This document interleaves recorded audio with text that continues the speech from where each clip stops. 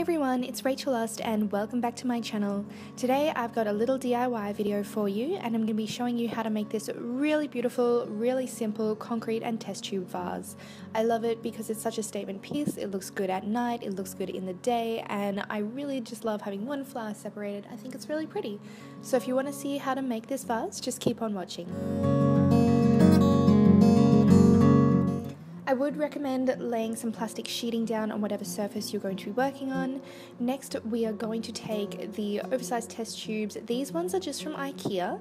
You can find them all around the place though. A container for mixing in. I made Bo eat a thing of Ben and Jerry's because I wanted the container because it has the wax coating on the inside. That's our mold. And then a scoop, some easy mix concrete, the kind that you just have to add water to, and some water. I would also recommend getting a spoon to mix things with and some little rocks. I'll show you what they're for for very shortly.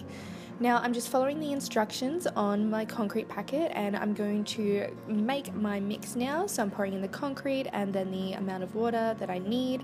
I did end up adding a tiny bit more water because as you can see it's still quite dry there so I added a little bit more in.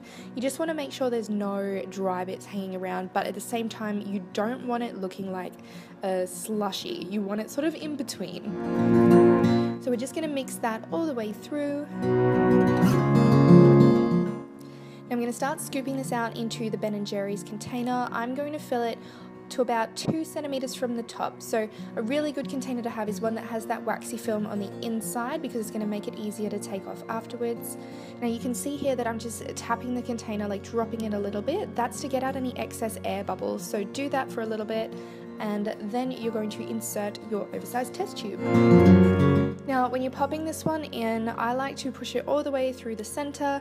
You'll know when you've hit the bottom, you've gone too far, so bring it back up just a little bit so some concrete can get under there.